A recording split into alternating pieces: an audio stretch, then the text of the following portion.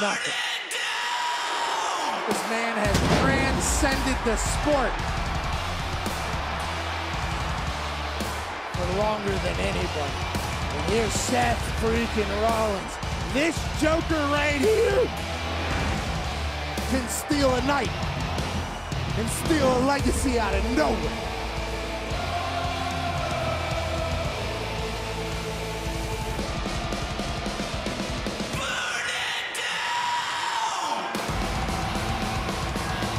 So much history for these two men. And the question is, when we get to Oklahoma City next Friday night for SmackDown, will Seth Rollins be the new Universal Champion?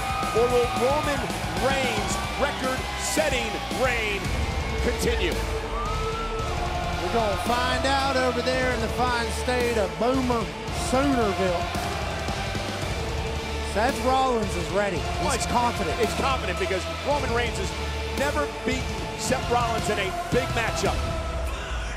Yeah, but Seth Rollins, I understand he's kind of found this different mindset and different switch, but Roman Reigns is on another level right now.